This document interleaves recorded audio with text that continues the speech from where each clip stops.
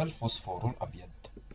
خصائصه استخداماته ومدى خطورته. الفوسفور الأبيض هو عبارة عن مادة شمعية صلبة ذات لون أبيض شفاف يميل للإصفرار قليلا وله رائحة شبيهة برائحة نبات الثوم يصنع بشكل رئيسي من مادة الفوسفات. أما كلمة فوسفور فهي كلمة يونانية ومعناها حامل الضوء. ومن المعروف أن الفوسفور نوعان فوسفور أحمر غير ضار وفوسفور أبيض ضار وسام. وما يميز الفوسفور الأبيض أنه يتفاعل مع الأكسجين بمجرد ملامسته للهواء الخارجي عند درجة حرارة 30 درجة مئوية.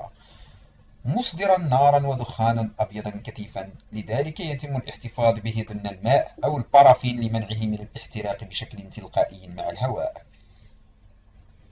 وغالبا ما يتم استخدام الفوسفور الأبيض في صناعة الأسلحة العسكرية كصناعة الذخائر الكيميائية والذخائر الدخانية إذ أن تعرض الإنسان لكميات قليلة منه يؤدي إلى حدوث حروق وتهيج في الجلد كما أن استنشاقه يؤدي إلى تلف في الكبد والكلى والقلب والرئة وحتى في العظام وفي بعض الحالات يؤدي استنشاق كميات كافية منه إلى حدوث الوفاة ما هي خصائص الفوسفور الأبيض الكيميائية؟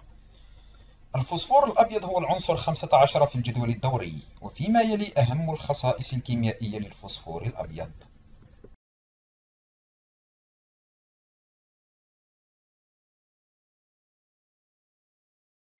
ما هي استخدامات الفوسفور الأبيض؟ اكتشفت مادة الفوسفور الأبيض قبل نحو ثلاث قرون عن طريق الصدفة أثناء قيام الكيميائي الألماني هينيغ براند بمعالجة البول باحثا عن مادة تحول المعادن على مادة تحول المعادن إلى ذهب.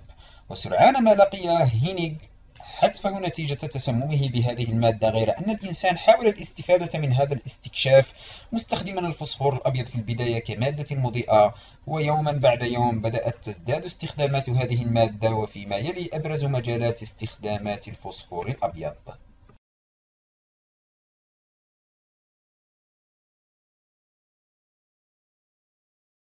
ما هي الإسعافات الأولية عند التعرض للفوسفور الأبيض؟ لا يوجد دواء يعالج التسمم بالفوسفور الأبيض إنما تتمثل الإسعافات الأولية بتقديم بعض العلاج الداعم وذلك بحسب طريقة التعرض للفوسفور الأبيض. وفيما يلي أهم الإسعافات الأولية للمصابين بأحد آثار الفوسفور الأبيض.